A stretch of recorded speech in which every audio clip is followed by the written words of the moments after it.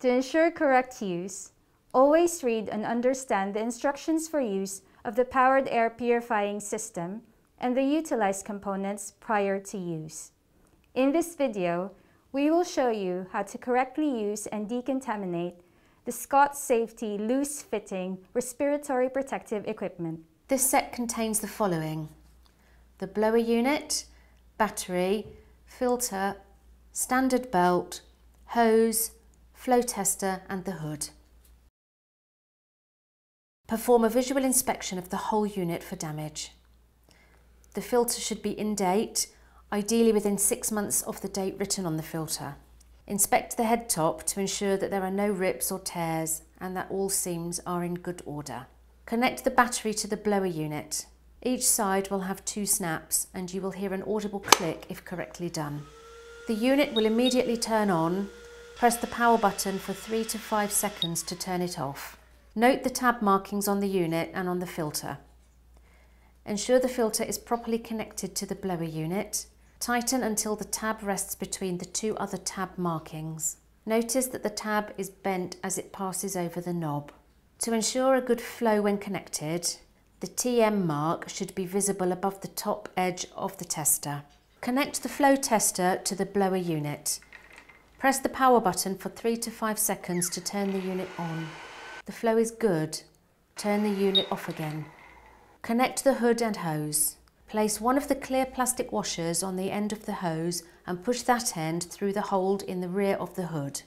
Place the other plastic washer over the hose end before fastening the end cap on top. The hose should be free to swivel freely. Connect the hood and hose to the blower unit. To wear the device, make sure you are already wearing the proper PPE. The powered hood be worn on top of your gown. Adjust the belt according to the wearer's fitting. Put it around your waist and then connect the buckles. To switch on the unit, press the power button for 3 to 5 seconds on the control panel. After switching on, the device performs a self-test. The indicator lights will show a red light when there is a concern. For example, if the battery indicator lights red, it means that the battery is not charged. If the filter unit lights red, it means that it needs to be changed or there is a blockage. The warning lights need to be eliminated before the unit can be used. Do not put on the hood until the unit is switched on. Push the unit into your back with one hand while the other supports your hood. Wear the hood on your head, making adjustments where necessary. The system is now ready for use.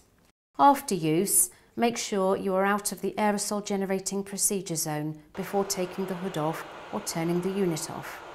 Discard your used gloves appropriately and clean your hands with alcohol hand gel. Use another set of gloves, then turn off the unit by pressing the power button and ideally you will lay the unit on a table. Disconnect the hood, hose, belt and unit for proper decontamination.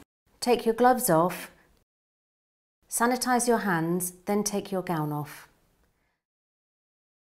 Sanitize your hands and remove your face mask. Sanitize your hands again, then put on another set of fluid-resistant surgical mask and gloves before cleaning the unit. Make sure you have ample Clinell Universal wipes within arm's reach when decontaminating.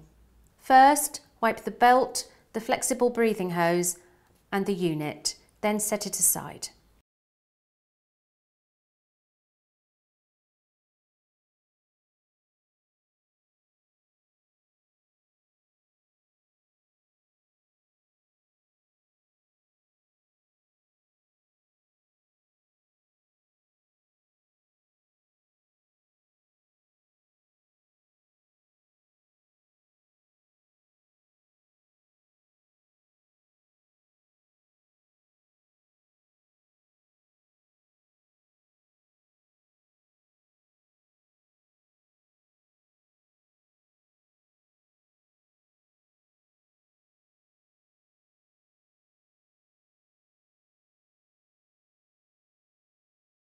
Next, always use one fresh wipe for the inner portion of the hood. Make sure not to use the same wipe for the other part of the unit to avoid contamination. Lastly, clean the outer part of the hood, making sure all the creases are covered. Then gently put it aside to dry, ready for next use. Finally, take your gloves off and clean your hands. If a charger is nearby, take the battery off the unit and allow it to charge.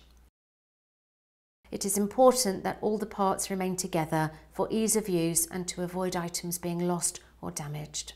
Thank you for watching the instruction video for the Scott Safety Loose Fitting Respiratory Protective Equipment.